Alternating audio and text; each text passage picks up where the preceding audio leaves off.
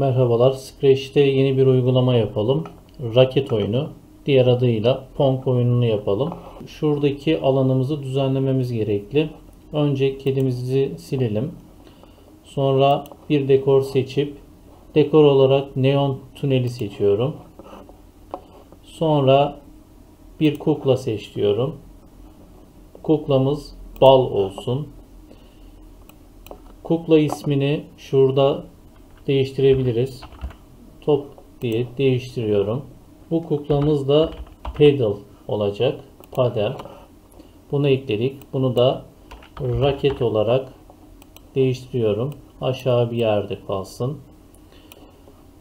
Oyunumuzun amacı şu. Top yukarıdan aşağı doğru düşecek. Raketle karşılayacağız. Her karşılamada puan alacağız. Eğer alt tarafta da bir çizgi ekleyeceğiz. Kırmızı bir çizgi top oraya değerse oyun bitmiş olacak. Şimdi line nesnesini ekliyorum. Bu bizim alttaki sınırımız olacak. Gerekli olan nesneleri ekledikten sonra şimdi de kodları yazalım.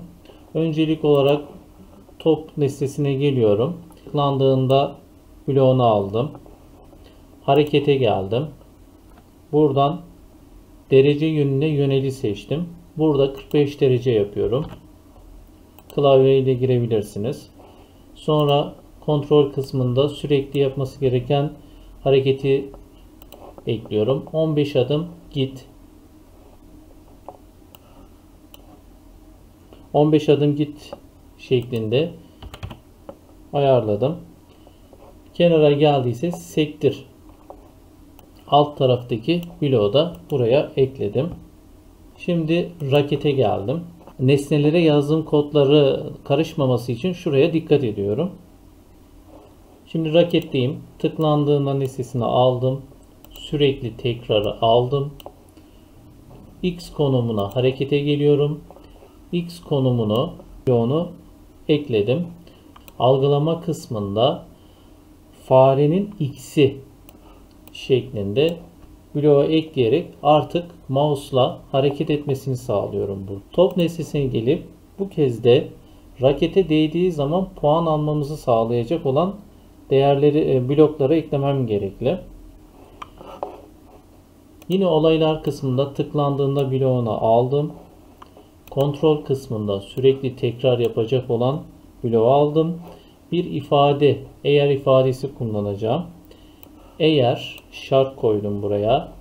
Raket değiyor mu? Şuradaki bloğu aldım. Burada ise raket değiyor mu şeklinde değiştirdim. Rakete değdiği zaman yapmasını istediğim ne? 180 derece yani tam tersi yönde hareket etmesini istiyorum. Hareket bloklarına geldim. Buradan derece dön. 180 derece. Dön işaretim ve 15 adım tekrar geriye gitmesini yani geldiği yere dönmesini istiyorum. Ve her seferinde saniye olarak da 0.5 saniye beklemesini istiyorum. Her değdiğinde de puan alması için bir değişken oluşturmam gerekli. Değişkenler kısmına geldim. Bir değişken oluştur deyip buraya puan olarak değişkenimi tüm kuklalar için geçerli olarak yazıyorum. Rakete değdiği zaman da değişkenin değerini bir kadar değiştirsin. Buraya ekledim. Değişkenim kısmında puan olarak bunu ayarlıyorum. Line'ı eklemiştim. Eğer top line yani kırmızı çizgiye değerse e, oyunun bitmesini istiyorum. Şimdi bu kodları yazalım. Line'ı seçtim. Buradan da görebilirsiniz. Tıklandığında bloğunu aldım. Sürekli tekrar bloğu. Eğer ifadesi bana gerekli. Eğer algılama kısmında değiyor mu bloğunu aldım. Bu sefer de top değiyorsa ne olmasını istiyorum? Kontrol kısmına gelip tümünü durdurmasını istiyorum. Evet toptaki bloklarım, raketteki bloklarım ve line'daki bloklarımı görebilirim. Şimdi çalıştıralım.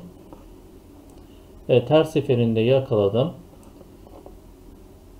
Her vurduğu zaman puan artıyor.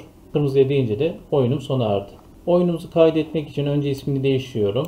Raket oyunu olarak ismini değiştirdim. Sonra dosya bilgisayarına kaydet deyip bir yerde istediğim yere kayıt işlemini yapıyorum. Sonra kapat diyerek gelen ekranda Leave seçeneğini tıklayarak sileceğimi kapatabilirim.